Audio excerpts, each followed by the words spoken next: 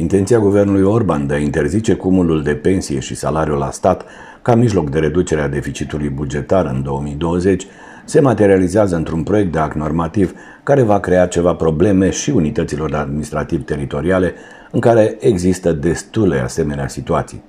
La conferința de presă de luni 6 ianuarie, primarul Lucian Micu a declarat că la Roman ar exista 5-6 situații de acest fel și că acoperirea posturilor de acest tip se va face după consultarea prevederilor actului normativ ce urmează a fi elaborat și promulgat.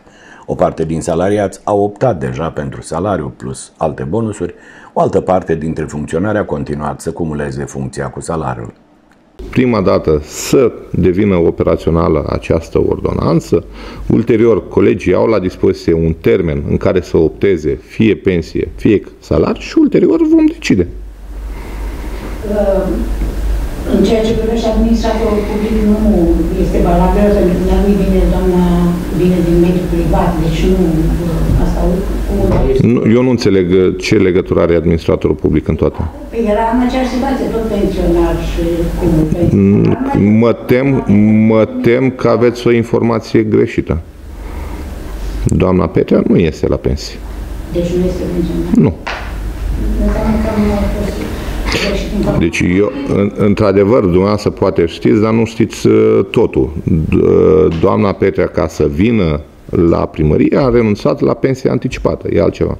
Interdicția era de a, sau cel puțin la câte, din câte am înțeles eu, interdicția este de a acumula pensia cu salariul din sistemul bugetar. Deci pensia nu are nicio importanță uh, de unde ai cotizat pentru acea pensie.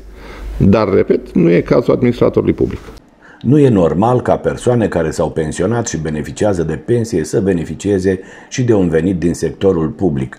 E vorba de a nu permite ca cineva care s-a pensionat, e vorba de foarte mulți care s-au pensionat la 40 și ceva de ani în poliție sau alte structuri și care, după ce s-au pensionat și-au dobândit niște pensii, multe din ele peste medie, să cumuleze cu salariul din sectorul public, a declarat Ludovic Orban, citat de presă.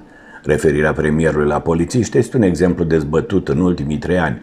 Potrivit unei inițiative a unui fost ministru în guvernul Ponta, e vorba de Gabriel Oprea, a fost propusă persionarea ofițerilor din Ministerul de Interne al apărării și a celor din serviciile secrete la doar 40 de ani, cu creșterea în fiecare an a acesteia, indiferent de inflație. Legea a fost adoptată în timpul guvernului Cioloș, însă a fost aplicată doar din anul 2017, în timpul guvernului Tudose. Această prevedere a golit practic sistemul de securitate de cadre superioare și a mărit cheltuielile statului cu aceste pensii care sunt asigurate din bugetul de stat în bugetele de cheltuieli ale acestor instituții. Pe de altă parte, s-a constatat fenomenul potrivit căruia, nu doar în aceste instituții, dar și în alte domenii, pensionarii care au lucrat la stat sunt imediat reangajați în aceleași compartimente, primind simultan două venituri.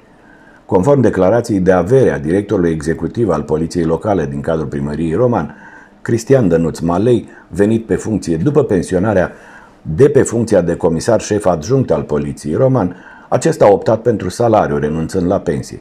Venitul anual al acestuia din salariu a fost în 2019 de 14.600 de lei, la care s-a adăugat norma de hrană de 11.300 de lei și tichete de vacanță de 1.300 de lei. Tot în situația de cumul a pensiei cu salariu se află și Sorin Dancea, inspector în cadrul Biroului de Programe Proiecte, care a obținut în 2019 un venit de 19.000 de lei din pensie, cumulat cu 22.000 de lei din salariu.